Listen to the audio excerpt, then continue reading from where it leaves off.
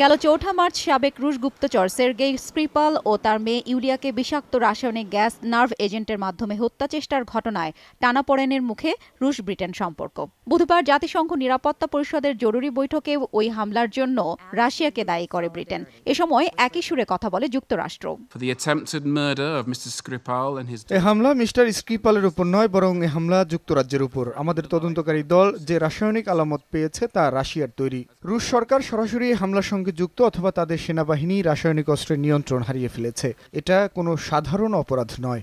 Yet we know from testimony say they oppose the use of chemical যুক্তরাষ্ট্র বিশ্বাস করে এ ধরনের হামলার সঙ্গে রাশিয়া জড়িত। আমরা ব্রিটেনের পাশে রয়েছি। রাশিয়া যে অপরাধ করেছে তা আন্তর্জাতিক আইনের চরম লঙ্ঘন। এটা কোনো বিচ্ছিন্ন ঘটনা নয়। এ ধরনের হামলা রাসায়নিক অস্ত্র বিস্তারের প্রতিফলন। হামলার তদন্তে রাশিয়াকে অবশ্যই সব ধরনের সহযোগিতা করতে হবে। তবে অভিযোগ অস্বীকার করে পেশাদারিত্ব বজায় রেখে স্বাধীন তদন্তের আহ্বান জানান মস্কো প্রতিনিধি। একই সঙ্গে হামলায় রাশিয়ার জড়িত থাকার বিষয়ে সুস্পষ্ট প্রমাণের দাবি জানান তিনি। আমাদেরকে মাত্র চব্বিশ ঘণ্টা সময় দেওয়া হয়েছিল। আবার আমাদের কূটনীতিকদের বহিষ্কারের ঘোষণা দেওয়া হয়েছে। যুক্তরাজ্যের এ ধরনের পদক্ষেপের জবাব দেওয়ার ভাষা নেই। ব্রিটিশ প্রধানমন্ত্রী জাতিসংঘে যে চিঠি দিয়েছে তা একেবারেই দায়িত্ব জ্ঞানহীন আমরা মনে করি রাশিয়ার সার্বভৌমত্বের উপর এটা চরম আঘাত।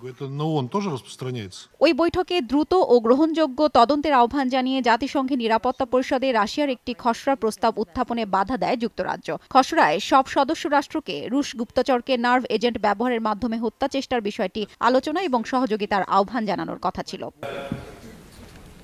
এর আগে যুক্তরাজ্যে নিযুক্ত রাশিয়ার তেইশ কূটনীতিককে বহিষ্কারের ঘোষণা দেন ব্রিটিশ প্রধানমন্ত্রী থেরেসা মে। রাশিয়া বিশ্বকাপে ব্রিটিশ রাজপরিবারের কোনো সদস্য মস্কো সফরে যাবেন না বলেও জানান তিনি। যে কাজ রাশিয়া করেছে, তারপর আমাদের সঙ্গে দেশটির সম্পর্ক আগের মতো স্বাভাবিক থাকবে না। সুতরাং আগে থেকে পরিকল্পনায় থাকা সব কর্মসূচি এবং দ্বিপাক্ষিক সব ধরনের যোগাযোগ বাতিল করব আমরা। রুশ পররাষ্ট্রমন্ত্রীর ব্রিটেন সফরের আমন্ত্রণও আমরা বাতিল করব। Suspend all planned.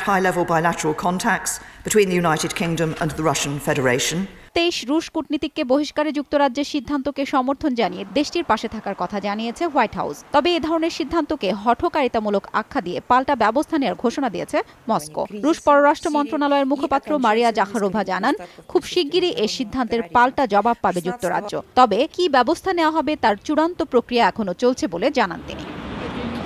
হাফসাতুন্নেসা সময় সংবাদ।